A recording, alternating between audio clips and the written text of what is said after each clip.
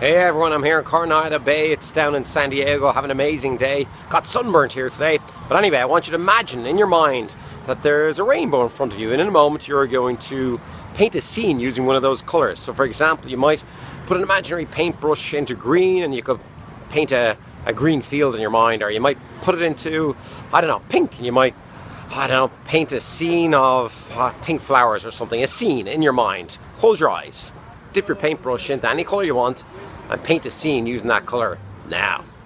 The, the day before we came, we came in. Good.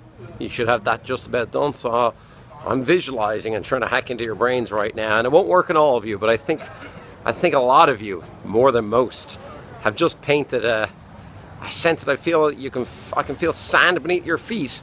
You're standing on a beach. You're looking at water with the sun blazing down on you. If that worked on you, please share this and tell your friends and family. If it didn't work, go see a psychiatrist.